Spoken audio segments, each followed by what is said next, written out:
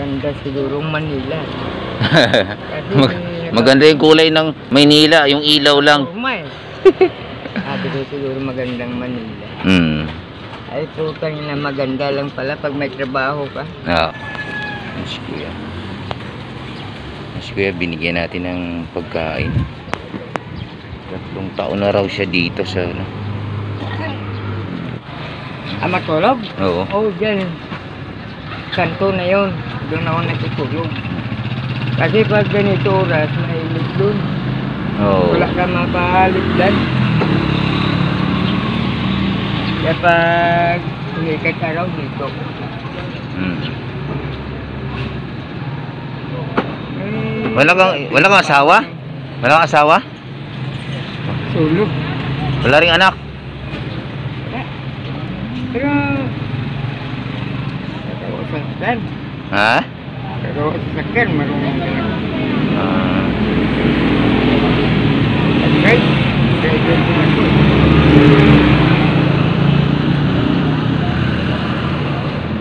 Paano yan? Ikaw ba kulod pala? Ang bigasan ko, yan. Simula ko, si Sibin. Dito sa Maynila? Dito, labang baklaran. Ah. Pagkain mo Manila. Mangmang ako, hindi ko alam lugar. Ah. ah. Ilan taon na kayo kuya? Ha? Ilan taon na? Ako? Oo. Ba, ano na ako? Senior na. Senior na. Kain mo na kayo. Kain mo na. Mayroon ako kain kasi parang naano rin ako. Kain ko lang lugaw. Pugpa ko. Ayaw ko magpagutom pero yung malat, ayaw ko. Oh. Ah, sabi sa akin ng oh, pag hindi mo hiwalayan yung alak, bahala. ka. sabi niya, maganda yan yung inano mo, puro pagkain. Ah. Sabi niya, lalakas ka pa. Oo, lalakas ka pa. Pero yung alak, walang nangyari yan.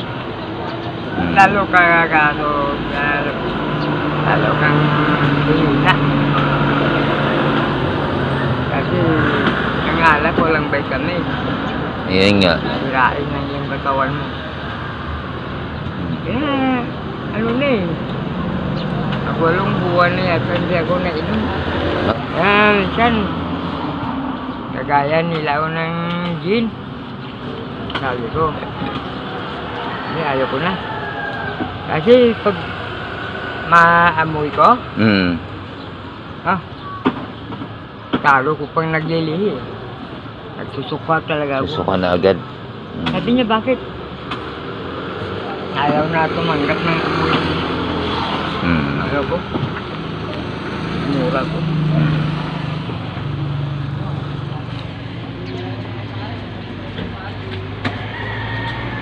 Ang ganda. Ang ganda ng ano mo eh. Ko.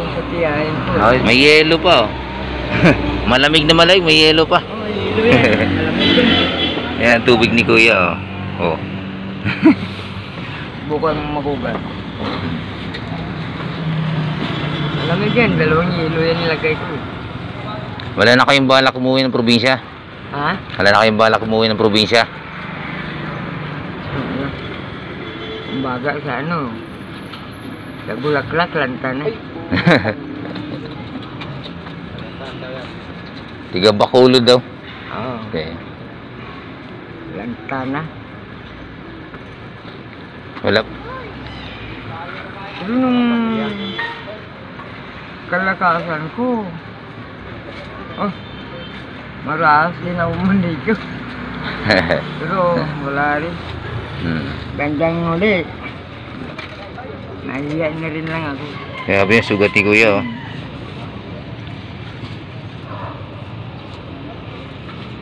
Sugat. Tumanda lang, hindi nag-asawa. May sugat si Kuya sa paa. Ayun. Hindi kasi na ano ako, na-discourage ako. Yung first love ko. No. Ayun, may kwento si Kuya. sa Mindanao kasi overall seeker ako sa laging eh. Alaging. Ano, nung pag-uwi ko. Kaya nga pala, pinipigilan ako ng mama ko na pumunta sa bahay nila. Hmm. Ayun pala, nakaburo. Ah. Doon ako na, ano, doon ako na discarded. Kaya parang nawala ng gano'n.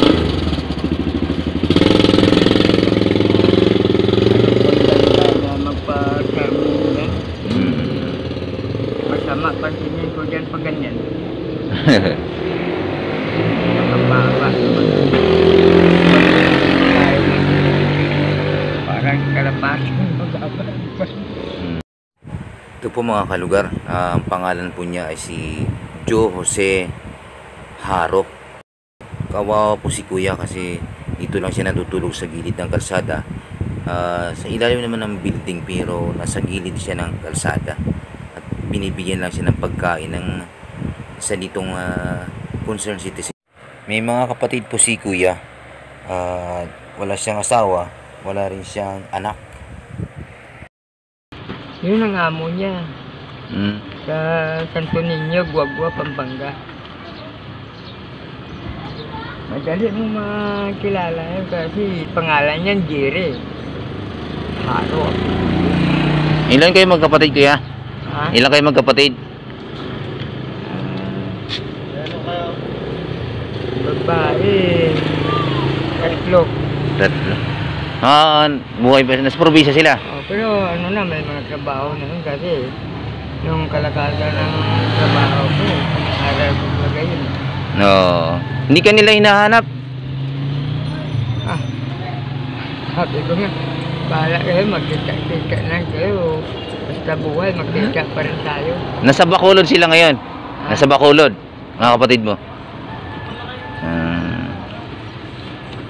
Yung nagtuturo yun, teacher kasi yung dalawa eh. Anong pangalan niya kuya? Ha? Anong pangalan niya? Ano, ang isa, Elina. Ilina. Elina Ano po? Haro. Apelido po? Lido Haro. Haro. Ilina Haro. Oh, J-A-R-O. Ah, ate, baka nanonood ka. Ah, nandito si kuya. Ilina Haro. May asawa na po yon. Tatlo lang? Tatlo? Ah, ano? Tatlong babae. Hmm. Dalawa lang kaming lalaki. Ah, bali lima. Oo, yun. Sinasabi ko na, Sa Pampanga. oo, Pampanga. Yung lalaki. Ah. yung iba nasa Bacolod. Ah, Yung ibang kapatid mo nasa Bacolod. yun nung doon ako, kaya pumunta ako dito sa Manila. Hmm. Nang doon ako sa akin. Pumunta sila. Ba? Maganda sigurong Manila. Kasi, Mag- maganda yung kulay ng Maynila, yung ilaw lang. Umay. Sabi ko siguro magandang Manila. Hmm. Ay, putang na maganda lang pala pag may trabaho ka. Oo. Yun na nga eh. Pag wala kang trabaho, gutom ka rin. Kaya nga. An- pangalan mo? Ju, Jo Haro. Si Haro, Jo Jose Haro. Tapos kapatid mo, teacher, si Ma'am. Jiri. Ah, yung babaeng teacher, ah, kasunod ko si Ilina. Ilina Haro. Oh. Ah, okay. Ayaw mo na umuwi ng Bacolod? Ayaw mo na umuwi probinsya? Ah, ewan ko lang, hindi lang natin masabi. Baka, Baka ina, baka hinahanap ka ng kapatid mo. ah, Baka hinahanap ka ng kapatid mo. Paningin? Paningin ka? Nagbabasa pa dyan yung bata. Hindi, hindi, ibig sabihin, baka hinahanap ka ng kapatid mo. Ah, mahal. Hindi nila alam na nandito ka? Alam nila dito ako. Kasi, nung ano, sinamahan sila ng pinsan ko pumunta. Doon pa ko sa loob. No. Wala kang bahay dyan sa looban? Ah, sa Lusada may bahay ako. Lusada. Ah, yun sa Nagarod. Oo. Ano nangyari? Pagka galing ko sa trabaho, pag uwi ko, dimulis na. Yun lang. Mga gamit ko, ando lang, inaano lang, yung mga bag. Mm. Buti naman, inayos naman nila, sinalansan nila. Oo. Nilagyan nila patungan, tapos Mm. nung umulan, tinakpan nila ng luna. Ay, Mm. hindi rin nabasa. Di wala na kayong bahay tuloy. Wala, no? Na. Mm. Kaya sabi ko, huwag na lang mag-ano bahay. Mm. Ganda lang ang bahay kung talaga. Lupa. Ayan o, itong tubig ni kuya. Tapos, ito yung pagkain niya. May lugaw siya. May lugaw siya kanina. Mamaya pa ko sabi kasi. Kakain ako. Mm. Jerry yung nasa Pampanga pangalan. Oh, Jerry araw. Haro. Amo niyan si ano. Remedios Salazar. Remedios Salazar. Yung tracking yun ah. Ha? Tracking? Hindi. Ah, ano yan, yung factory ng sabon. Mm. Factory ng sabon. Mm. Yung mga time na to, Mm. sila ang gumagawa nun. Mm. Ito kanino, kanino to kuya? Hindi. Kasi nagkanin. Ah. Kaya nung iniwanan ko, kasi kamote, Oo. eh, sabi daw kayaan ng jeep. Kasi, pinatay ko yung kamote yun. Ang Oo. Buti kuya may nag Kuya. Buti nagbi- may nagbibigay ng pagkain mo dito. Ha? Buti may nagbibigay din ng pagkain mo. Ah, dito sa bigasan? Binibigyan ka nila ng bigas? Bigasan.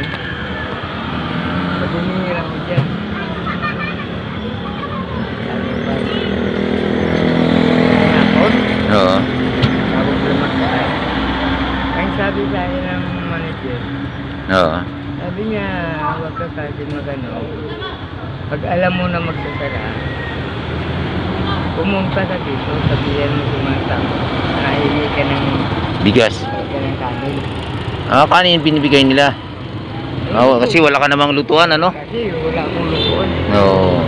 Ako, may lutuan na ako. Kasi siguro araw-araw, ibang zero, bibigyan ako. Eh, paano kung may lutuan ka, wala ka namang lalagyan, wala ka namang pwesto? Kasi nano, sila na binigyaramdam ako ng antok. Ramdam ako niyan. Hindi na nila ako magalaw yan. Pag nakahiga. Tulog na yan. Tulog na, may higa. Ah, nakita ko may higaan ka dyan. Ha? Higaan mo yun nandun? Oo. Hindi. Oo. Karton ko sa kaunan. Mm.